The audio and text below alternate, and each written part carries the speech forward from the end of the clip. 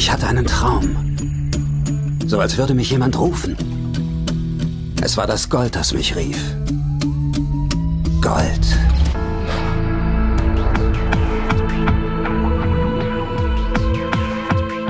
Kinocast.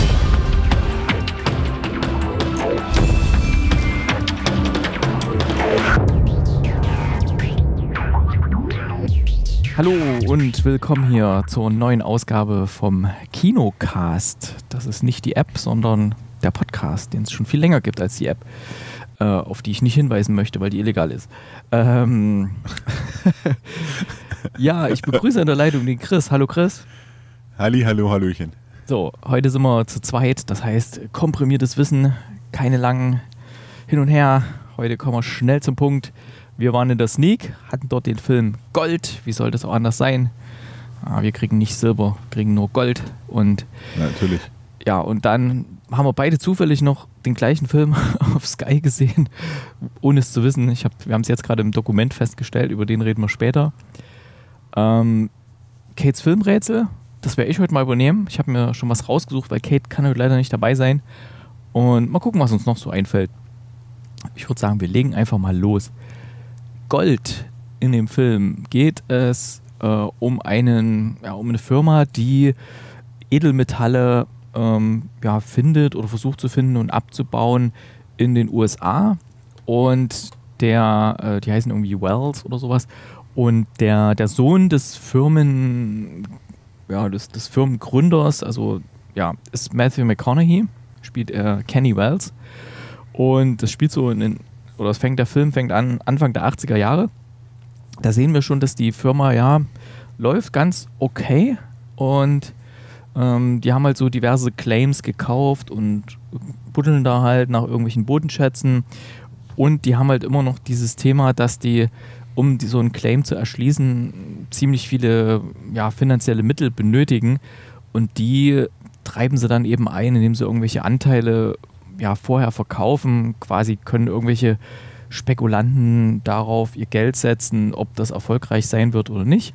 Die hatten in der Vergangenheit wohl ganz gute Erfolge, dass das halbwegs gut läuft. Dann macht der Film so einen Sprung, irgendwie so Ende, Ende der 80er Jahre. Ähm, der Vater ist mittlerweile verstorben und äh, Matthew McConaughey leitet die Firma, die aber nicht mehr in diesen schönen Räumlichkeiten ist, die wir zuerst gesehen haben, sondern die betreiben das mehr oder weniger von so einer Art Bar oder Kneipe, äh, wo, wo die ganze Truppe da drin sitzt und die einen, die telefonieren halt in der Gegend rum und versuchen halt finanzielle Mittel aufzutreiben, um neue Bohrungen ähm, ja, zu, zu machen. Und Matthew McConaughey, ähm, der fährt halt immer zu Banken und versucht auch so Kredite zu bekommen. Und es läuft alles sehr, sehr schlecht. Und äh, das geht wirklich ziemlich einen Bach runter. Und die, die Firma wird auch an der Börse gehandelt, allerdings äh, ist das eher so ein, so ein Penny-Stock, also wirklich so für ganz wenig, äh, wenig Geld äh, kann man da Aktien erwerben, aber es macht eigentlich keiner, weil die Firma ist einfach nicht erfolgreich. Ähm, mit seinem allerletzten Geld, was er hat, fliegt er, Matthew McConaughey fliegt nach Indonesien, um dort jemanden zu treffen, so eine Art, ja, ähm, so jemand, der quasi so Edelmetalle erspüren kann. Der hat schon mal einen riesige, riesigen Kupferfund äh, dort gefunden in, in äh, Indonesien und ist dadurch eine, eine Berühmtheit in diesem, in dieser Peer Group da, in dieser, dieser Goldgräber Peer Group. Und den will er besuchen und den will er überreden, ähm, weil der hat schon immer mal so eine Vorstellung gehabt, dass an einer bestimmten Stelle im indonesischen Urwald, dass da größere Goldvorkommen sind. Und keiner hat ihm so richtig das Geld gegeben, um dort mal zu graben, beziehungsweise hatten die dort schon so Probebohrungen, die waren aber nicht so erfolgreich. Und deswegen ja, hat sich auch kein, kein anderer getraut, dort mit einzusteigen. Er trifft ihn und die machen das ganze Ding und äh, Matthew McConaughey wirft seine Maschinerie an, damit er irgendwie das Geld beschafft. Er beschafft aber erstmal nur einen Teil davon. Ähm, also eigentlich wollten die irgendwie, äh, wie viel? 750.000 Dollar brauchen sie, glaube ich. Ne? Ja, irgendwie sowas, ja. gerade mal irgendwie 250.000 zusammen und das auch von, ich sag mal so, dubiosesten Geldgebern, um es vorsichtig zu sagen. Und das ist aber dann erstmal egal und ähm, sie fangen dann dort an. Das ist nur die Frage, wie viel man da eigentlich erzählt. Er holt sich dann dort noch aus Versehen, was heißt aus Versehen, er, ihn erwischt noch die Malaria und liegt dann mal so im Delirium eine ganze Zeit lang und es steht wirklich alles. Aus Versehen erwischt ihn die Malaria. Ja, ja, ich habe selber gemerkt, dass es, äh, die Formulierung nicht richtig war, deswegen habe ich ja noch korrigiert. Ähm, und er liegt dann so im Delirium und dann passieren halt noch einige Dinge und ich will es mal nicht zu sehr, weil den Film können noch einige in der Sneak bekommen und vielleicht wollen manche so reingehen, auch in den Film aktiv, ohne Sneak jetzt. Ähm, äh, das Ganze macht auf jeden Fall ein ziemliches Auf und Ab. Also das ist quasi ähm, einmal bis nach ganz oben zurück und wieder hoch und sonst wo. Ich sage jetzt nicht, wie es dann ausgeht, ähm, aber das macht einige einige dynamische Verwicklungen werden da mitgebracht in dem Film und es passiert da so einiges, was man nicht vorhergesehen hat und natürlich, wie man es auch schon aus irgendwelchen alten Western kennt, wenn Gold gefunden wird, dann zeigt sich dann auch der wahre Charakter von bestimmten Menschen, äh, wenn dann plötzlich der Reichtum einkehrt und so ist es hier auch und ja, viel mehr will ich jetzt eigentlich erstmal nicht erzählen. Habe ich noch irgendwas Wesentliches vergessen mit seiner Frau vielleicht, die Geschichte oder? Ja, die Geschichte mit seiner Frau, die ja gespielt wird von äh, Bryce Dallas Howard. Die kennen wir ja aus. Welchen Blockbuster von 2015? Blockbuster von 2015. Jurassic also, World, vollkommen richtig, ja. Also, Gut erkannt. Also ich kenne auf jeden Fall Bryce Dallas Howard, die ist ja die Tochter von Ron Howard. Ähm, die hat ja in diversen Filmen mitgespielt. Die hat auch bei The Help und so hat die mitgespielt. Aber genau. ich wusste jetzt nicht, ob der ähm, 2015 war. Hm.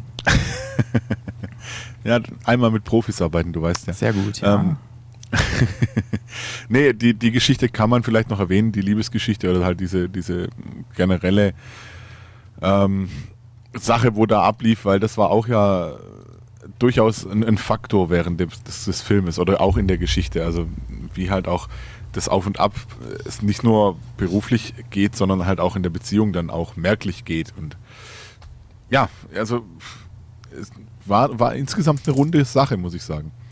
Ja. Oder, ähm, dann wollen wir das, ich das falsch. Da wollen wir das doch mal nicht unerwähnt lassen, was du meintest. Also er hat von Anfang an, als es ihm äh, oder als während die Firma bergab geht, hat er schon äh, eine Freundin, die er dann auch heiratet und sie steht das dann quasi alles so mit ihm durch bis zu einem bestimmten Punkt und dann ändern sich auch die, die Menschen so ein bisschen, vielleicht kann man es so sagen. Hm. Insgesamt, ähm, als der Film anfing, oder wir hatten ja eine relativ oder ich hatte eine relativ gute Vermutung, dass der Film kommt. Und die Kate hatte, ich hatte ja auch keinen Trailer geguckt zu dem Film. Die Kate sagte zu mir, ja, sie hat den Trailer gesehen und sie fand ihn so lustig. Und als dann der Film irgendwie begonnen, habe ich, hab ich gedacht, hm, der wirkt jetzt nicht so, als würde der jetzt irgendwie noch großartig lustig werden, der Film. Das war.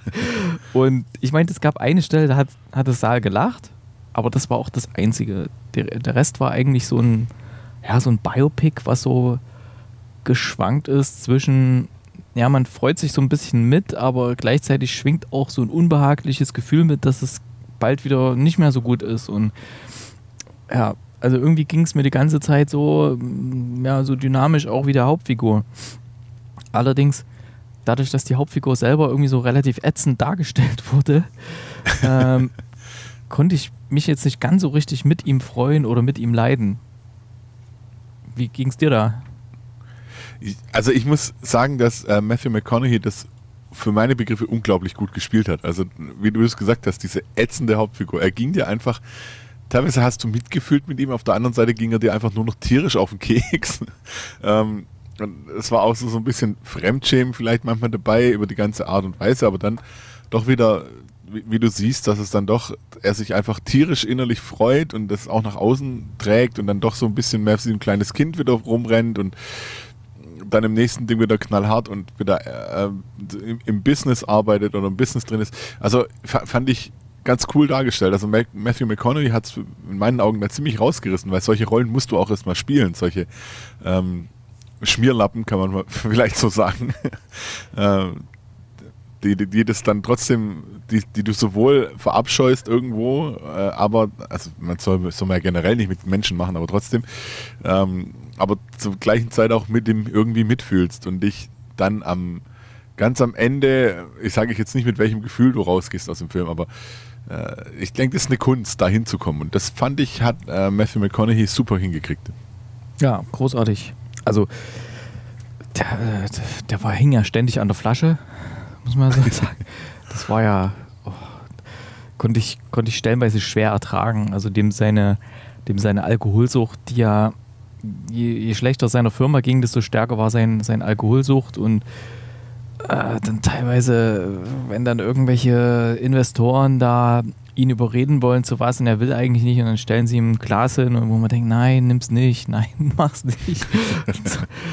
äh, das sind dann so Sachen, wo ich mich immer frage, ey, ey, ey merken die Leute das eigentlich nicht, dass, dass der Alkohol ihnen ganz doll schadet. Und, aber nee, die Leute merken es einfach nicht dann.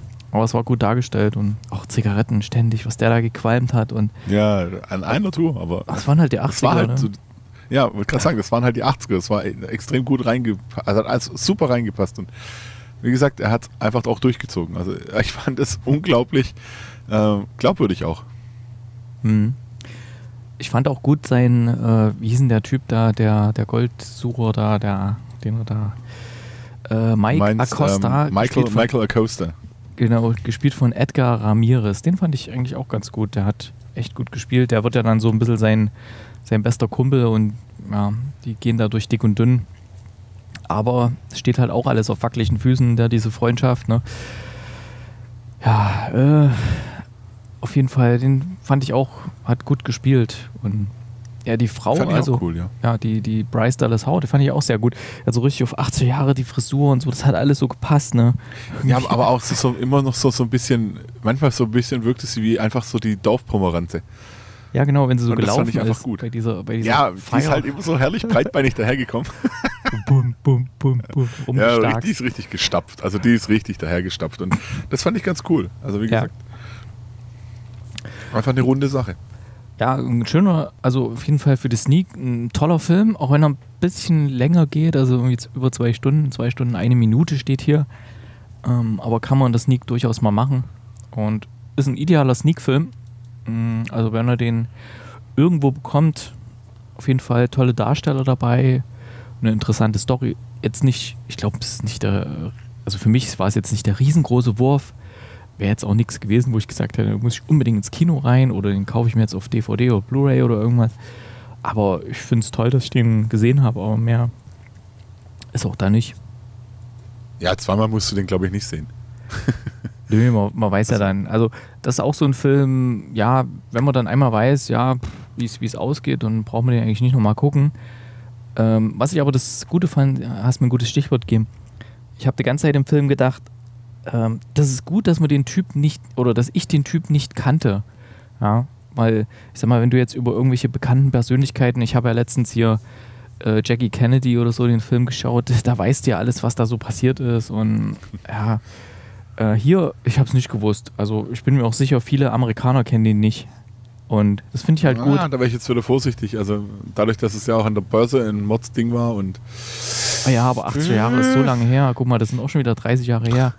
Was wüsstest du denn, was hier vor 30 Jahren in Deutschland irgendwie an der Börse? Ähm, nee. Wenn es einen größeren Börsencrash gegeben hätte, dann wüsste man das vielleicht schon. Ja, ich glaube so. Aber Nee, ich finde deutsche gut. Geschichte besteht hauptsächlich aus Zweiten Weltkrieg, von dem her. Ich fand es gut auf jeden Fall, dass ich, dass ich den, den Typ noch nicht kannte und auch seine Geschichte nicht und nicht wusste, wie es ausgegangen ist. Und ich fand es gut, wie der Film endet, ohne das jetzt irgendwie nennen zu wollen, wie es endet. Äh, das hat den Film irgendwie relativ rund gemacht und zu einem schönen Kinoerlebnis auf jeden Fall. Ja. Ja. Das habe ich eigentlich ich recht, ich, ja. hab ich schon hier. Du hast nicht getippt, nein. In unserer, gar nicht, gar nicht nachgucken. Ich weiß, nee, dass Punkte du nicht gegeben, meine ich? Ja, meine ich ja. Ach dass du Punkte eingetippt hast. Äh, ich, dann ich weiß, dass du nicht muss getippt ich mich hast. jetzt mal entscheiden hier. Wo ist hier unsere Metropol Sneak Facebook-Gruppe? Die es jetzt seit einem Jahr gibt. Seit einem Jahr, hey. Yay! Oh, Konfetti. Ich aus Freude mein Mikro weggehauen. Sekt, Sekt aufmachen. äh, ich glaube, ich gebe auch mal 8 von 10. Ja, ich fand den, fand den gut. Was hast du? Auch mal acht ist gut, weil ich habe ihm auch 8 gegeben. Das hast du wahrscheinlich gerade gesehen dann, ne? Nee, ich habe ihn nicht. Ja. auch Kate hat Also ich habe ihm 8 gegeben. Ja. ja, die spielt sich nee, ja alles im, im, oberen Rahmen ab hier. Also da hat ja keiner ja, schlechter definitiv. als 6 gegeben hier. Gut. War anscheinend eine gute Sneak. Ja. Ähm, wenn wir einmal hier auf Facebook sind, wie sieht es denn aus mit den Tipps für nächste Woche?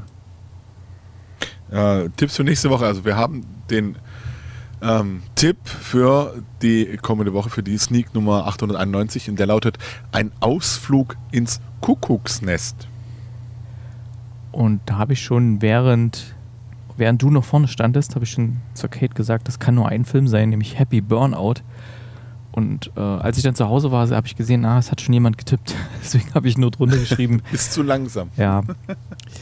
Genau, hat schon die Carola hat das auch äh, getippt. Deswegen und anscheinend hat auch niemand anders noch irgendwie eine, eine, weitere Idee oder sowas. Das heißt, das ist der einzige Tipp. Bin ich ja mal gespannt. Das wird sehr spannend. Ja. Das wird sehr spannend. Ja. Ähm, was haben wir denn noch so für Filme gesehen? Wir haben ja einen Film, alle beide gesehen, nämlich Money Monster. Willst du den mal kurz vorstellen oder soll ich mal? Oh, ich, das überlasse ich sehr okay. gerne dir, weil meine Stimme, glaube ich, etwas mehr gelitten hat im Stadion als okay. äh, würde ich, ja, kann, kann, ich so nicht bestätigen. Meine war auch ganz schön mitgenommen, aber ich kann es gerne machen. Also, es gibt offensichtlich eine, oder es gibt hier in dieser, in dieser, in diesem Film gibt es eine Fernsehsendung, und die heißt irgendwie Money Monster. Und dort ist ein so ein Finanzguru gespielt von George Clooney, der immer solche Börsentipps abgibt. Und anscheinend muss das relativ nah dran sein an dem tatsächlichen US-Fernsehen, wo auf diversen Sendern immer irgendwelche Börsengurus Tipps geben. Und wenn dann jemand sagt, hey, die Aktie XY, die ist gut, die solltet ihr kaufen, ähm, selbst wenn die Firma, die XY ist, äh, selbst wenn die sich nicht so gut ent, ent, oder selbst wenn die sich gut entwickelt, durch diese Empfehlung in der Sendung bekommt die natürlich auch nochmal einen Schub, dass viele die Aktie kaufen und dadurch steigt ja der Kurs automatisch. Ne? Und ähm, das Ganze wird hier ein bisschen auf eine interessante Art und Weise dargestellt, nämlich ähm, bei George Clooney, der mal wieder so eine Sendung wegmoderiert und seine Produzentin ist ähm, Julia Roberts. Ähm, schneit plötzlich ein junger Mann ins Studio rein und äh, hat da irgendwie so ein Paket dabei und sagt dann so in der Live-Sendung, ähm, hier, ja, er soll da, oder mit vorgehaltener Waffe, er soll da so eine, so eine Sprengstoffweste anziehen und hat dann auch so einen, so einen Todmann-Knopf, also wenn er den loslässt, wenn ihn jemand äh, wegmacht, dann äh, sprengt er die Weste in die Luft. Ne? Das heißt, äh, das SWAT-Team kann da erstmal nichts machen. Und der junge Mann wie heißt er, Kyle, ähm, ist jemand, der durch so eine Empfehlung von George Clooney viel Geld verloren hat, weil er hat dort äh, investiert in eine von diesen Empfehlungen, wo George Clooney gesagt hat, ja, das ist eine ganz sichere Sache, sicherer als ein Sparbuch und ja, legt da euer Geld hin und die Firma, die ist gut. Und irgendwie so eine Woche später äh, ist mit der Firma alles irgendwie Bach runtergegangen und die Aktie ganz schlecht. Und ausgerechnet in dieser, Entschuldigung, ausgerechnet in dieser Sendung wollte er auch den, den Firmenchef irgendwie dran bekommen, um mit dem zu reden, warum das so passiert ist, warum das so abgestürzt ist, die Aktie. Aber der Firmenchef, der ist nicht auffindbar, der ist gerade irgendwo mit seinem Jet unterwegs und der, der Typ, der da reingestürmt ist, will halt oder fordert halt, dass er äh, erfährt, warum eben das Investment doch nicht so war, wie, wie das so versprochen war. Ähm, die wollen natürlich erstmal die Sendung vom Sender nehmen. Ähm, das äh, merkt er aber, der, der Kyle, sondern sagt halt, nee, soll auf Sendung bleiben und macht halt hier mit vorgehaltener Waffe eine Menge Ballett. Und die äh, Julia Roberts, die ist über so einen Knopf im Ohr mit George Clooney verbunden und sagt ihm halt auch so ein bisschen, was er machen soll, weil der kann irgendwie mit der Situation nicht ganz so richtig umgehen. Und dann kommt er aber in so ein, ja, in seinen seinen Moderatoren-Modus irgendwie so ein bisschen rein, wo er sich dann quasi für den Keil äh, kümmert und versucht, da das Investment wieder äh, zum einen zum Retten, zu retten oder dann auch mit diesen anderen, die, mh, mm, die sich da abgesetzt haben, die er eigentlich interviewen wollte, irgendwie ins Gespräch zu kommen. Also das bleibt dann auch nicht nur im Studio, sondern die gehen dann halt auch noch raus und versuchen dann halt Leute zu treffen. Ich glaube, so viel kann man da mal sagen. Ähm, wie fandst du das? Also, wir haben uns ja jetzt noch gar nicht so richtig drüber unterhalten. Nein, wir haben uns noch nicht drüber unterhalten. Ähm, ich fand's eigentlich, ja, also das ist das Schöne an dem Film fand ich eigentlich, wenn man davon reden kann, dass es was Schönes gibt, ähm, dass es gleich am Anfang heißt, als der reinkommt, so, oh, wir haben wieder einen Spinner hier drin, wie konnten der vorbei und bla bla bla. Die haben diese Situation wohl schon ab und an mal gehabt und dadurch, dass es alles so herrlich übertrieben immer auch dargestellt wurde, äh, fand ich dann auch dies, diesen Wandel im Film ganz cool. Also dieses zuerst so, oh Gott, wir sind alle bedroht und auch, ähm, ich denke da an die Szene mit, dem, mit den Scharfschützen im ähm, Studio dann auch, auf wen die dann im Endeffekt zum Beispiel die Scharfschützen gezielt haben. Und ich glaube, da wurde dann George Clooney auch relativ schnell klar, was eigentlich Sache ist und dass es nicht unbedingt jetzt derjenige ist, der ähm, das, das, Studio gekapert hat, der das Opfer oder dann das, das Ziel ist, sondern dass er plötzlich auch das Ziel ist. Und ähm, ich denke, die ganze Denkweise hat sich bei ihm verschoben und ich finde, das hat man in dem Film ganz gut gesehen und auch dann dieses so ein bisschen Zusammenarbeiten, ein bisschen, ich fand es ein bisschen tölpelhaft, teilweise von der Polizei, muss ich ehrlich sagen. Das hat mir nicht so gefallen, weil ja, vom Gefühl her waren die ein bisschen dargestellt wie Trottel, aber okay. Ähm, ja, aber äh, wie gesagt, also diese Thematik, dass man eben durch solche Finanzshows auch extrem viel Geld verlieren kann und dann natürlich auf Rache sind, finde ich jetzt nicht so unrealistisch, dass sowas auch passieren kann, dass jemand so ein Fernsehstudio kapert und äh, dann wirklich auch für größere Probleme sorgt. Auch das, äh, denke ich, ist nicht unrealistisch. Ähm, und von dem her fand ich es ganz cool eigentlich, wie gesagt. Also inklusive diesen ganzen Verwirrungen, Verworrungen, wer dann am Ende warum und was da dahinter steckte und das eigentlich ja, wäre jetzt zu viel verraten, wenn ich jetzt noch mehr drüber sage. Aber das hat mir einfach gut gefallen, muss ich ehrlich sagen. Also von den Darstellern her auf jeden Fall handwerklich eine, eine Top-Arbeit. Aber bei mir gab es so ein paar Punkte, wo ich, ja, zum einen, ich wusste die ganze Zeit nicht, wo der Film hin will. Ist es nur eine Satire? Ähm, dann hätte ich mir gewünscht, dass Oliver Stone Regie geführt hätte, der hätte es noch ein bisschen besser ausgearbeitet. Oder ist es halt wirklich so ein, so ein Geiselnahme, Action, Action-Thriller? Ähm, beides, beides ist ihm nicht so richtig gelungen, fand ich. Und mh, mm, die, die Story hat gerade mittendrin ziemlich gehagelt. Also zum einen, ich habe das George Clooney nicht so richtig abgekauft, dass er da irgendwie so der, der ganz fiese Börsenmensch da ist, der da am Anfang so reingetanzt mit den, mit den zwei Tänzern da rein. Und ja, richtig, aber das war ja seine ja. Rolle, ganz ehrlich. Das ja. war ja seine Rolle, die er da fürs Fernsehen gespielt hat. Deswegen, das fand ich ganz cool. Ja, und ich fand dann auch die, die Auflösung des Ganzen, also worum es da geht, was ich jetzt natürlich nicht verraten will.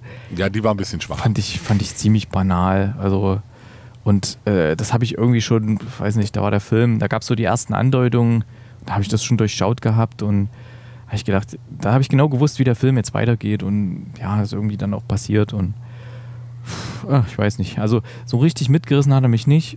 Ähm, ich bin froh, dass ich da damals nicht ins Kino gegangen bin. Der lief ja längere Zeit, auch ganz erfolgreich.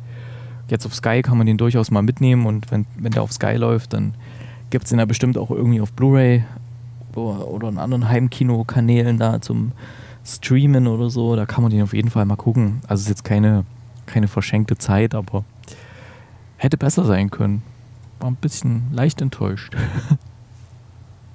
Okay, also ich finde deine Zusammenfassung treffend, aber er hat mich nicht so leicht enttäuscht, weil wie gesagt, ich habe es den relativ abgekauft. Auch klar, das Ende, wie gesagt, war, hm, aber verschenkte Zeit war es auf gar keinen Fall. Also das fand ich absolut nicht. Und ähm, der Director von dem Film, das hast, weißt du, oder das hast, hast du erwähnt, ich weiß es jetzt nicht mehr. Das war nämlich Jodie Foster. Das habe ich am Schluss gelesen, ja. Ja. Was ich relativ spannend finde. Dass sie da Regie geführt aber, hat? dass sie Director war, ja. Ja. ja. Die hat ja schon einige Sachen gemacht, eigentlich. Das ist wohl richtig, ja.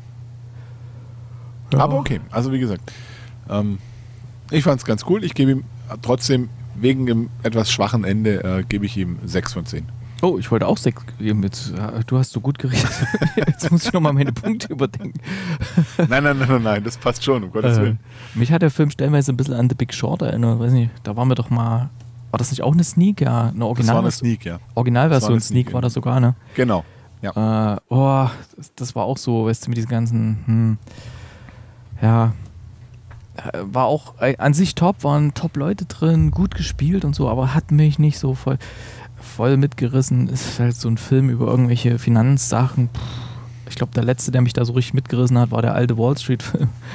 hm. naja. Aber trotzdem angucken, wenn ihr da irgendwie die Gelegenheit habt. Sehenswert ist auf jeden auf Fall. Auf jeden Fall. Das auf jeden Fall, ja. Und wir gucken dann doch mal hier, wie es hier in Stuttgart aussieht, was da so anläuft und was hier so im Kino gern geguckt wird. Kinocharts. Wir beginnen mit den Charts hier. Auf Platz 10 ist Moonlight. Platz 9 ist immer noch die Häschenschule, Jagd nach dem goldenen Ei. Platz 8, Bibi und Tina, Turbo Babo, total. Am besten ich nutze das immer weg. Total. äh, oh, Platz 7 ist Ghost in the Shell. Ah, den wollte ich sehen. Ah, doch mal irgendwie reingehen. Ähm, Platz 6 ist Lombok. Sehr empfehlenswerter, lustiger Film. äh, Platz 5 Kong Skull Island. Platz 4 ist Live. Platz 3 ist Boss Baby. Der Film, den ich nicht verstehe. Irgendwie. Hm. Platz 2 ist Power Rangers, Platz 1 ist Die Schöne und das Biest. War übrigens letzte Woche parallel zu Sneak. Du hast es, glaube ich, nicht so ganz mitbekommen, weil du dich ja vorbereitet hast auf deine Moderation. Ähm, war das parallel, lief irgendwie Die Schöne und das Biest zu Sneak. Aha. Und das Klientel, was da reingegangen ist, ähm, zum einen viele Frauen natürlich. Also im Verhältnis würde ich mal sagen, äh, zwei Drittel Frauen. Und die Männer, die da mitgegangen sind, die sind teilweise, sagen wir so, in Männerpärchen gegangen, ich sag's mal so. also die, die wir so gesehen haben beim Reingehen. Ist doch schön. Ja. Wo die Liebe hinfällt. Genau. Also das, ja. Ähm, was startet denn diese Woche hier in Stuttgart? Ähm, ein Film, wo ich wahrscheinlich rein muss. Aber da kommen wir später dazu. Auf jeden Fall muss ich nicht in den Folgen, nämlich die Hütte, ein Wochenende mit Gott ein berührendes Drama über einen Vater, der nach der Entführung und Ermordung seiner Tochter eine Einladung von Gott erhält. Mit Octavia Boah. Spencer und Sam Worthing, wenn mich nicht alles täuscht, hatten die Kollegen von Leinwandperlen den vor ewig langer Zeit mal in der Sneak Preview gehabt und fanden den furchtbar. Ich, aber es könnte sein, dass ich es irgendwie durcheinander bringe. Aber da war auch irgend sowas mit, mit, mit Gott und sowas und könnte sein. Ähm, wo ich aber mit ziemlicher Sicherheit rein muss, ähm, die Schlümpfe, das verlorene Dorf. und zwar ist das jetzt der, der dritte Teil aus der Schlumpfreihe, ähm, diese Neuauflage. Der erste Teil war ja ziemlich cool, hat mich angenehm überrascht. Der zweite Teil war sowas von grottenschlecht scheiße, wo ich gedacht habe, um Gottes Willen, nie wieder. Aber der ist ja jetzt ein reiner Animationsfilm. Das könnte wieder gut werden. Also das, was ich bis jetzt gesehen habe, hat mir gut gefallen. Und die Kids wollen okay. da rein. ich hoffe, der läuft irgendwo 2D, dass ich mir das nicht in 3D angucken muss. Ähm, dann ein Film, den du schon gesehen hast, Es war einmal in Deutschland. Äh, mit ja. Moritz Bleibtreu und Antje Traue. Ja, haben wir schon vor zwei oder drei Ausgaben drüber geredet. Fandet ihr ziemlich gut? Ja, der ist sehr, sehr, sehr charmant. Äh, nicht zu verschenken mit Danny Boone hier. Eine Komödie um einen notorischen Geizhals, der plötzlich mit den Ansprüchen seiner Freundin, einer Freundin und einer Tochter konfrontiert wird. Ah, okay. Irgendjemand hatte den auch schon in der Sneak, habe ich schon in irgendeinem Podcast gehört. Dann äh, Mind Gamers mit Tom Payne, Sam Neill. Worum ging es da jetzt nochmal? Ich habe hier nur das Poster. Steht überhaupt nichts da. Huh. Kannst du mal kurz gucken, worum es da geht? Ich mache da weiter mal weiter. Mind Gamers. Wie, wie hieß es? Mind Gamers. Mind Gamers. Äh, es startet noch Tiger Girl von Konstantin Film. Das war der Film, auf den hatte ich euch mal hingewiesen im, ich glaube im November war das, liebe Hörer, als ich nämlich ähm, mal den einen von Konstantin Film zufällig getroffen hatte bei einer Veranstaltung und der mir gesagt hat, dass Konstantin jetzt so eine, so eine spezielle Fördermittel bereitstellt für junge Filmemacher, die teilweise krasse Stories haben, die nie von der normalen, in Anführungszeichen, äh, Filmförderung irgendwie gefördert werden würden, um ihre Ideen umzusetzen. Ähm, die sind ja teilweise immer ziemlich gleichgespült, so wer da irgendwie Baden-Württemberg oder keine Ahnung irgendwo Geld herbekommt. Ähm, die müssen sich da ziemlich in Regularien unterwerfen, was da der Film aussagen darf. Und die haben das jetzt so gemacht, dass die quasi so kleine Beträge bereitstellen aus eigenen Mitteln, um Filmemachern so teilweise ziemlich krasse Storys zu ermöglichen. Der erste davon ist eben dieser Tiger Girl, der vom Trailer her einen sehr verstörenden Eindruck macht und der Film soll auch irgendwie ziemlich cool sein. Ähm, da geht es um eine Freundschaft zwischen einer Polizeianwärterin und einer totalen Rebellin. Trailer sieht echt geil aus. Müsst ihr euch mal angucken. Vielleicht ist was für euch. Hast du schon was gefunden? Zu Ich habe zu Mindgamers, ja. Mind was. Gamers? Worum geht's da? Ähm, da geht es um eine Gruppe junger Studenten besuchen eine Forschungseinrichtung für Quantenphysik, bekannt als DXM. Gemeinsam arbeiten sie an einem Projekt, dessen Ziel ist es, das menschliche Nervensystem zu überwinden und so ein drahtloses neuronales Netzwerk zu erschaffen. Also die wollen alle Menschen untereinander verbinden. Ein Computerkrimi. Mit ähm, Sam Neill. Hm? Den kennen wir vorher. Sam Neill aus Schindlers Liste. Jurassic Park. Ja, natürlich auch. Spielen wir uns die Bälle zu. Na. Aber Schindlers Liste war auch. Äh, dann startet noch Genau. Free Fire. Das ist der Film, den wir, glaube ich, ein paar Mal ge- getippt hatten.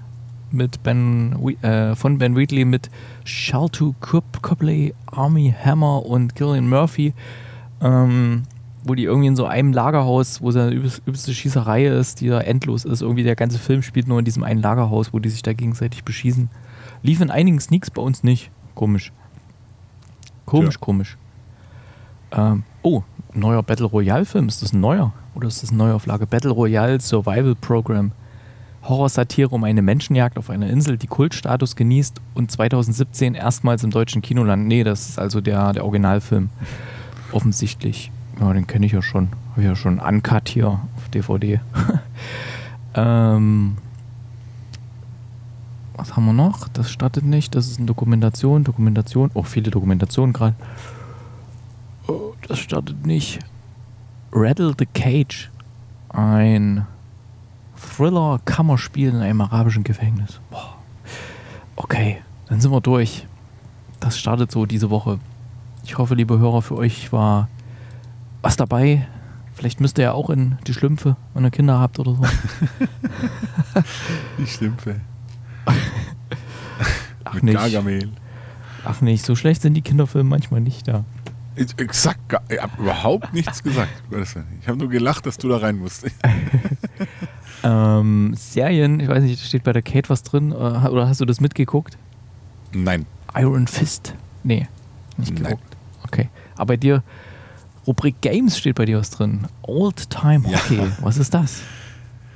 Oldtime Hockey ist ein unglaublich goldiges, lustiges äh, Eishockeyspiel, das jetzt erschienen ist auf der PlayStation 4 im Augenblick. Kommt wohl noch für Steam auch raus und äh, für die Xbox wohl auch. Ähm, oder auch kommt, äh, gibt es vielleicht auch da schon, aber ich glaube für die Xbox noch nicht, aber soll kommen. Also irgendwie sowas. Ähm, ist ein altes, auf, auf alt getrimmtes Arcade-Hockey-Eishockeyspiel. Äh, super witzig. So 70er, 80er Jahre Eishockey, dreckige Hallen. Es geht um eine Bierhockey-Liga mit völlig verschiedenen komischen Teams und eigentlich und völlig blinden Schiedsrichtern. Also es ist total lustig. Es ist also so eine richtige, ähm, wir, wir zocken mal wieder ein richtig blödel Eishockeyspiel nebenher. Das einfach Spaß macht, weil es gibt dann auch verschiedene Schlägereien auf dem Eis hintereinander und äh, die hören auch nicht auf zu prügeln, wenn man schon auf dem Boden liegt. Also es ist einfach herrlich. Und dadurch, dass es halt auch wirklich auf so alt getrimmt ist, also so ganz alte Sounds auch drin sind und also die, der, der Soundtrack an sich ist unglaublich gut. Das erinnert schon so ein bisschen auch an eine irische Kneipe. Teilweise äh, ist herrlich, also wirklich herrlich. Es macht richtig viel Spaß. Und ich werde es bis zur neuen Ausgabe von Pausentee, muss ich es noch völlig noch ein bisschen mehr anspielen. Also ich habe es jetzt eine Dreiviertelstunde gespielt und kam aus dem Lachen teilweise nicht mehr raus, weil es halt auch Aktionen gibt wie, ja, wenn der Schiedsrichter eine Strafe anzeigt, fahr ihn über den Haufen, vielleicht vergisst das dann. und so läuft dieses Spiel ab. Also es ist richtig herrlich. Macht richtig Sehr nach Spaß. Speedball. Kennst du das noch? Ja, ein bisschen, Amiga? nur halt, es ist halt Eishockey wie früher, Ja. wie es halt früher war. Cool. Klingt sehr cool. Ja, Eishockey. Also Ja. wer Eishockey mag, der unbedingt da mal reinklicken. Old Time Hockey. Kost, kostet 18 Euro. Ist vielleicht, wenn man sagt, okay, ähm, Ui, das ist ja doch. ist ein bisschen hart bisschen für, für die Grafik und für das, was der Spielspaß steht über allem. Ah, Das ist halt wieder das. Also wenn das ist so typisch, wenn der Spielspaß stimmt, ist die Grafik eigentlich egal. okay.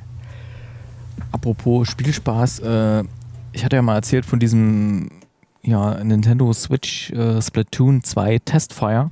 Und da haben wir festgestellt, dass wir auch dieses Problem haben mit den Controller. Also ist wahrscheinlich der, der Fluch der ersten Generation. ähm, liebe Hörer, falls ihr auch so ein Problem merkt bei eurer Nintendo Switch, sofern ihr eine habt, dass der linke Controller manchmal nicht so richtig reagiert, ähm, dann ist das tatsächlich ein bekanntes Problem. Ja. Der verliert dann manchmal die, die Verbindung und dann kannst du plötzlich nicht mehr lenken. Meistens dann, wenn es gerade sehr heiß zugeht im Spiel. Und man denkt dann erst so, ja, man hat nicht richtig gedrückt oder irgendwas. Oder, aber tatsächlich, ja. Ähm, wer das wissen will, wie das geht, also es gibt so ein äh, Programm von Nintendo, da kann man den einfach dann zurückschicken und kriegt dann irgendwie einen neuen, der funktioniert. Ähm, kann ich gerne den, den Link schicken, müsst ihr mich mal direkt anschreiben oder so. Oder wenn ihr das irgendwo, also ich habe es ja bestellt gehabt bei Netgames und ähm, da habe ich das direkt über Nintendo gemacht. So, hey, erste Netgames, dann hätten die das hingeschickt. So. Ansonsten, wenn ihr es irgendwo gekauft habt, dann könnt ihr es natürlich auch gleich direkt dort abgeben, wo ihr es gekauft habt. Dann wird es häufig gleich vor Ort umgetauscht. Ja. Naja, bin ja mal gespannt, ähm, was auf der Gamescom alles so gezeigt wird dieses Jahr. Also vielleicht, liebe Hörer, wer von euch da geht, äh, an dem Dienstag und an dem Mittwoch bin ich da. Ähm, könnt ihr euch ja mal melden und ja, kann man sich ja mal treffen oder so. Der Chris wird wahrscheinlich leider nicht dabei sein, oder? Nee. Nee, ich werde es wahrscheinlich nicht mhm. schaffen dieses Jahr. Aber das, äh, ja. Viel zu tun. Aber wo es könnte ja. auch sein, dass vielleicht so die, weiß nicht, in den nächsten Wochen, wenn da mal Sendungen ausfallen, nicht gleich äh, erschrecken und hier das Schlimmste vermuten oder so, sondern da ist, steht ein Umzug beim Chris an und so. Könnte es sein, dass Wa noch. Warum sollte da etwas ausfallen, mein Freund? Ich weiß nicht. Äh, bei mir war das damals so, dass, äh, dass noch nicht gleich das Internet alles so da war und so. Da, mein, mein Internet kommt morgen. Ah, das läuft ja bei dir, ey. Und ich habe dann noch, glaube diesen Monat noch äh, auch in meiner alten Wohnung auch noch okay. Internet. Also ich bin auf jeden Fall versorgt. Also jetzt mal. Okay. ich bin organisiert. Umso besser, umso besser. Dann läuft ja alles. Ja. Eben. Ansonsten können wir ja mal in die allgemeinen Themen jetzt reingehen, sind wir ja schon fast drin, mit Kates Filmrätsel.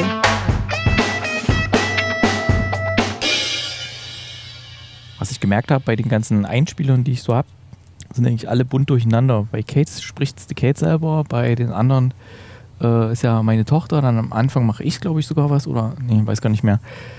Falls, falls mal, falls es eine eine nette Dame gibt mit einer schönen Stimme, könnte ja ein, unsere neue Station Voice werden. Ich wollte nämlich sowieso mal die ganzen, die ganzen ähm, Einspieler mal überarbeiten, dass die alle mal. Du könntest ja deine Frau fragen. Nee, die will nicht, habe ich schon, habe ich schon gefragt. Okay. Ähm, aber vielleicht gibt es ja einen, einen netten Fan da draußen oder so. Sagt, okay, ich spreche da mal zwei, drei Worte ein und bin dann Station Voice bei Kinocast. Ja. Aber die Kate ist ja heute nicht da. Und da habe ich mir mal was rausgesucht. Und es geht um das, ach so, wir müssen ja das noch auflösen von letzter Woche. Ich glaube, es hat gestimmt oder so, die da alle was getippt haben, ne? oder? ich habe keine Ahnung. ähm, das war äh, Son of a Gun oder so hieß das. Und was ich so gelesen hatte, die das getippt hatten, ja, Son of a Gun, der Kirschat und der Thomas, ja, die hatten es beide richtig, ja. Ihr könnt euch diese Woche quasi den, euren Avatar bei Twitter oder bei Facebook mit einem Stern selbstständig ergänzen, weil ihr das richtig hattet. Ja. Äh, oder ihr dürft, ihr dürft unser Kinocast-Logo herunterladen und damit euer Bild ersetzen. Aber, aber nur, nur, nur eine Woche lang. Nur eine, nur Woche. eine Woche, ja. Oder ihr erratet das Neue wieder. Dann, ja. dann nochmal eine Woche. Genau, ich mache jetzt mal das Neue. Ähm, also, los geht's. Es geht um, wie gesagt, um einen Film, der jetzt an diesem Wochenende, wo wir jetzt aufgenommen haben, mh, im Fernsehen lief, im deutschen Fernsehen. Und ich habe natürlich alle Schauspielernamen und so weit es ging irgendwie ersetzt. Es ist halt nur die reine Story, die jetzt kommt. Und ihr müsst mal versuchen, um welchen Film es da geht. Es ist nicht ganz so einfach. Es ist jetzt nicht ganz so der Riesen-Blockbuster oder obwohl Son of a Gun war auch nicht so der große Film, aber okay, ich. Jetzt ich, mach einfach. Ich laber mal nicht länger. Ich, äh, los geht's. Die New Yorkerin war eben noch verlobt, doch plötzlich ist sie wieder Single und dazu noch arbeitslos. Nachdem sie ihren Ex-Verlobten mit seiner neuen Freundin trifft, beschließt sie, sich die Zeit mit Online-Dating zu vertreiben. Auch ihre beste Freundin will, dass sie mal wieder unter Leute kommt und so beschließt die frisch gebackene Single-Dame einen Neueinstieg ins Liebesleben über einen unkomplizierten One-Night-Stand zu wagen. Kurzerhand verabredet sie sich mit ihrer Online-Bekanntschaft. Als sie sich am nächsten Morgen verabschieden wollen, merken sie plötzlich, dass die Wohnung über Nacht eingeschneit wurde und es für sie keine Möglichkeit gibt, nach Hause zu kommen. So wird aus einer Nacht ein längerer Aufenthalt als zunächst angenommen. Es ist nicht und täglich grüßt das Murmeltier. ähm, ja, und den Das Rest. ein bisschen wie ein Porno. Ähm, Habe ich da jetzt das Richtige genommen? Ich bin jetzt nicht sicher. Ich weiß, weiß ja nicht, aber so. Oh mein Gott, und wir sind aufgewacht und waren komplett eingeschneit.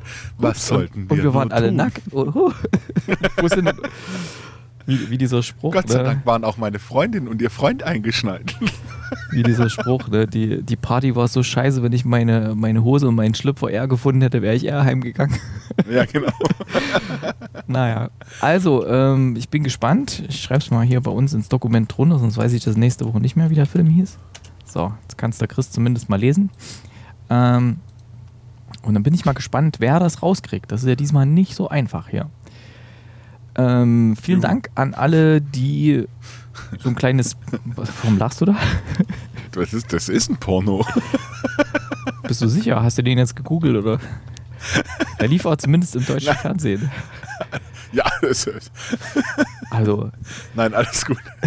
Ähm, vielen Dank an alle, die auf Twitter oder auf Facebook oder irgendwas Fotos gepostet haben von den Gewinnen, die es gab. Ähm, nämlich die Pantoffeln von A Cure for Wellness und das Poster.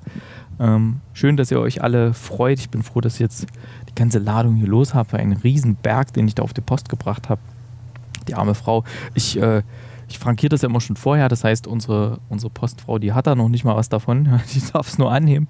Und ja, Schön, vielen Dank für alle, die da irgendwas gepostet haben und irgendwie mit Hinweis auf Kinocast. Wir können so, ja, so, so dieses, ähm, ja, dieses, dieses Teilen in den viralen, in den sozialen Netzwerken können wir ganz gut brauchen. Immer, ne? Macht's ruhig bekannter, den Kinocast. Das erzählt's euren Freunden, die vielleicht noch nicht wissen, was Podcast ist und wie das geht und wie man das anhört und wie man es abonniert und so. Wäre schön. Und über iTunes-Rezensionen freue ich mich dann auch immer wieder, wenn da was kommt. Da ist aber auch schon länger nichts Neues dabei gewesen. Ich gucke gerade mal hier so live rein. Ich lade mal die Seite. Aber ich glaube, da war jetzt noch nichts wieder dabei. Ich kann ja erstmal die Kommentare von letzter Woche machen, während das hier lädt.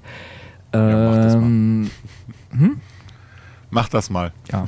Die Steff hatte geschrieben, sie hat sich live angeschaut, den Film. Und äh, sie fand ihn anders, als sie ihn erwartet hatte.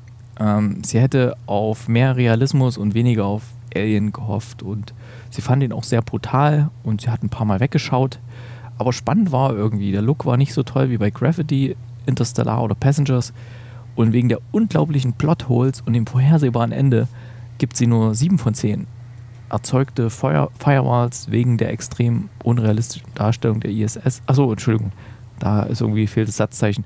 Äh, also sie gibt 7 von 10 neu erzeugte Firewalls, Punkt.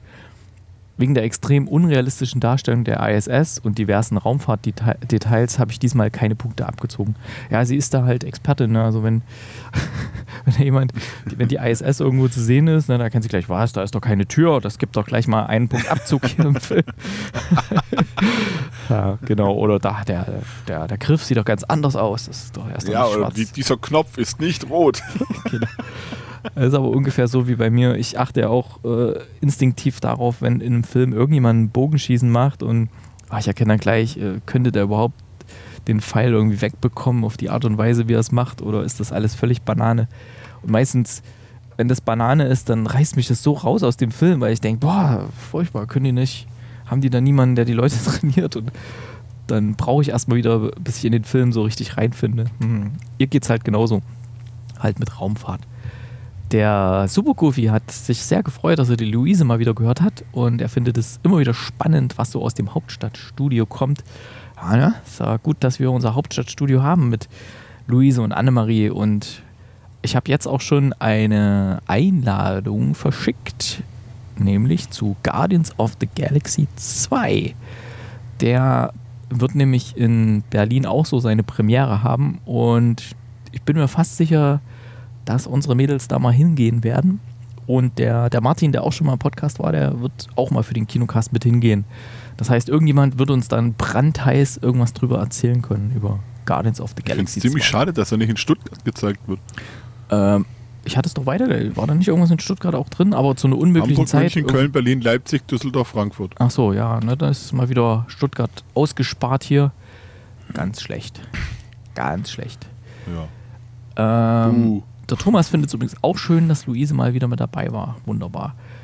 Ähm, jetzt gucke ich mal rein in die iTunes. Wo war das hier? Podcast Reviews heißt das Ding. Podcast Reviews. Aber ich glaube, da. Nee, das aktuellste ist immer noch vom 17.01. von Herrn oder Frau Bingo Bar. Das Ähm, Bingo Bar. Also ihr könnt, ihr könnt jetzt der aktuellste sein. Schreibt einfach eine iTunes-Rezension und gebt uns fünf Punkte. Das ist auch ganz wichtig, dass wir da wieder bei iTunes ein bisschen weiter oben erscheinen in der Liste von den TV- und Film-Podcasts. Da sind teilweise irgendwelche uralten, uralten Podcasts, die schon seit drei Jahren keine neue Folge mehr bekommen. Die sind da irgendwie vorne dabei. ist irgendwie ganz kurios. Weiß nicht, wie das abläuft da. Und irgendjemand wie wir, der jede Woche neue Folgen raushauen in die Welt. mit, mit Herzblut dabei sind. Yes, genau. Ja. Ähm, apropos Herzblut. Wenigstens unterstützen uns ja unsere Hörer, wenn sie auch nicht so viel schreiben bei iTunes, aber es gibt einige, die was äh, einkaufen über unsere Affiliate-Links, die auf der Seite vielfach zu finden sind. Also wenn ihr eh was bei Amazon zum Beispiel kaufen wollt, dann guckt da einfach mal ähm, oder klickt einfach so einen so Link auf unsere Seite und startet dann von dort aus eure Suche oder vielleicht findet ihr gleich auch irgendwas, was euch gefällt. Und dann bekommen wir so eine kleine Provision, die wir dann zum Beispiel nutzen, wenn wir hier solche Gewinnspiele, solche Sachen verschicken oder sowas. Okay, oh, da ist einiges wieder zusammengekommen. Und zwar für ein Samsung eine Galaxy S8 Hülle. Ein, oh, was ist das? Muss ich erstmal aufrufen hier, das sagt mir der Titel gar nichts. Free UK da Trio Data SIM Card. Ähm, achso, da verreist offensichtlich jemand nach England, nach UK, also quasi ins nicht-europäische Ausland und hat sich eine, eine, eine Daten, eine SIM-Karte für, für Datenvolumen gekauft. Ach, das gibt es bei Amazon, wusste ich gar nicht. Ich habe letztens, äh, nee, vor zwei Jahren habe ich für Frankreich mir da irgendwo eine im Internet bestellt. Das war auch krass, irgendwie so 30 Gigabyte für 10 Euro oder so. Total krass. Und das ist Frankreich, Nachbarland, ne? Und hier bei uns, was bezahlst du denn da, ey? Pff, Zu viel. auf jeden Fall. Du hast doch mal erzählt, oder nee, äh, der, der Fabi hatte erzählt irgendwie von Korea, ne? Hast du irgendwie, Ja, Korea ist richtig cool. Also da, da kriegst du ja alles, dann kriegst du auch volles LTE und alles für relativ wenig Geld. Also die haben da auch diese Wireless Router dann, wo du direkt am Flughafen kriegst. Also krass. Hm. die sind uns da voraus. Ja, auf jeden Fall. So, was ist das? Razer Firefly Cloth Edition. Ne, ein Mauspad. Kurz gesagt. ein, oh, oh, ein Mauspad für 60 Euro. Hallo. Was Hui. ist, was ist da so teuer? Das ist beleuchtet rundrum. Und das ist alles. Oder ist da die Maus dabei? Cloth Edition. Mit RGB Chroma Beleuchtung. Für professionelle Gamer. Puh, Okay. Wir haben professionelle Gamer unter unseren Hörern. Wow. So Ähm, geben, ja. Ja. Was ist das hier? Ich muss alles hier. Achso, ein, ein, ein USB-Verteiler. Hat auch einen ganz kuriosen Titel. Ähm, so, was ist das? Ein Nailstar professionelle UV-Nagellampe, wo man seine Fingernägel trocknen kann, nachdem sie nachdem er sie lackiert hat. Chris, was machst du damit? Äh, meine Fingernägel lackieren. Okay. ähm, oh, eine Reisetasche von Crumpler. Die sind eigentlich, die sind echt cool. Eine Reisetasche, Umhängetasche mit Laptop, Laptop-Fach. Ähm, Dragon Ball. Dragon Ball League of Legends Game Giant. Achso, ein, ein großes Poster zu Dragon Ball. Ein Riesenposter. Okay. Okay. Für eure neue Wohnung oder? Nee. Nee. Garantiert nein.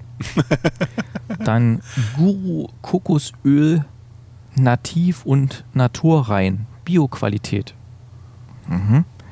Kokosöl. Macht jemand Schokolade drauf und isst es dann als Bounty. Hm. Äh, so, jetzt haben wir noch zwei Sachen. Ui, ist echt viel. Vielen Dank. Star, Star Realms, Realms, Realms, White Wizard Games, Deckbuilding-Spiel, Colony Wars, Englisch. Irgendein ein Kartenspiel, würde ich jetzt mal so sagen. Also die, die was bestellt haben, die können mir das gerne erläutern, was das ist. Ähm, weiß nicht, ein Kartenspiel. Du bist doch mehr so in Spielen. Ist, kennst du das? Colony Wars Star Realms. Äh, puh, nee. Okay. Ähm, so, und ein was noch, ein Hip-Hop-Hut. Das heißt direkt so. Hip-Hop-Hut. Al- Also eine Mütze mit. Sieht aus wie eine, eine Welle ist da drauf. Für, für Surfer wahrscheinlich. So richtig so ein Hip-Hop. Hip-Hop. Hip-Hop. Wir haben eine, wir haben eine, äh, eine Werkstudentin aus Kolumbien. Sehr nett, die, die Maria. Und Maria, Maria. hat meine, äh, ich höre mit meiner Kollegin zusammen bei uns im Zimmer, wir hören manchmal, wenn es gerade irgendwie, äh, wenn wir ein bisschen Motivation brauchen, hören wir wirklich manchmal irgendwie so äh, 90er Jahre äh, Hip-Hop-Rap, ne? so Hip-Hop. richtig die bekannten, die bekannten Sachen, ne? Und Okay. da, da kam sie auch mal rein, ganz, ent, äh, ganz entgeistert. So, Ihr hört Rap, Rap-Musik? ja, also das hatte sie Süß. wohl nicht gedacht, dass wir da lief gerade irgendwie so ganz laut Dr. Dre oder so. Ach nee, das war ja 2001, Entschuldigung, war doch nicht 90er. Ja. ähm, okay, also viel Spaß mit der Hip-Hop-Mütze. Und also quasi so ein, so ein, so ein Basecap halt, ne? Vielen Dank an alle, die irgendwas bestellt haben von unserer Liste. Und wenn ihr was bestellt habt, was jetzt nicht vorgelesen wurde, ja, ähm, es gibt nicht für alles bei Amazon was. Ich habe das noch nicht so ganz durchschaut, für was es was gibt und für was es nichts gibt. Ähm, aber trotzdem vielen Dank. Und wenn du nichts mehr hast, oder? Nee, Nö. ich hab nichts mehr. Nö. Dann sagen wir der Kate gute Besserung und hören wir uns dann nächste Woche wieder. Bis dann. Denke ich auch. Bis dahin, ciao. Und jetzt kommt der Trailer zum Film. 1988 hatte ich mein Haus verloren. Ich hatte alles verloren. Die meisten wären daran zugrunde gegangen, aber ich nicht. Ich hatte einen Traum. Oh mein Gott. Do you walk in the shadow of men who sold their lives to a dream? Wir haben eine Goldmine. Eine Goldmine?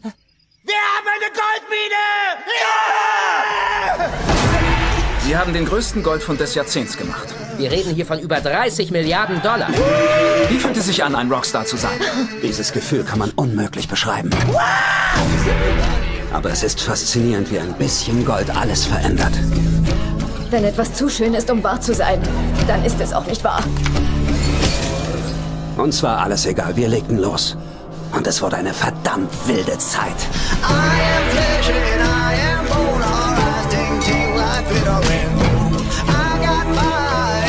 Siehst du diese Hände? Ich begrabe dich mit diesen Händen. Was ist bei dem Treffen passiert? Du willst die Wahrheit hören? Hier ist das FBI. 17 Milliarden Dollar sind über Nacht verschwunden. Ich fasse einen tiefer an.